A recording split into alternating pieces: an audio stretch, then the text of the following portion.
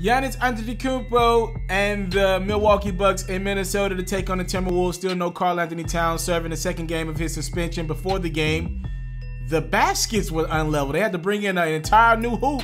Obviously, you got Giannis in town. He might break the hoop, so you got to make sure everything's leveled. We would play basketball and Giannis would get busy. You saw him finding Eric Bledsoe for the three.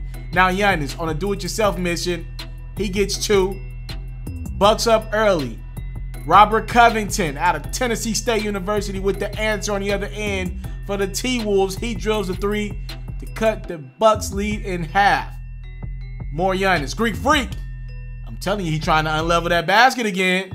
Greek Freak with the strong jam. He does that quite often.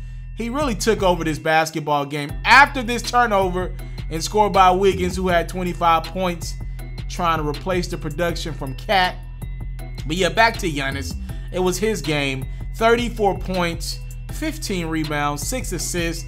He was named the Conference Player of the Week. Let's just say he's working on winning that award for a second straight week. You saw Khris Middleton with the three. Now Khris Middleton's gonna get it at the rim.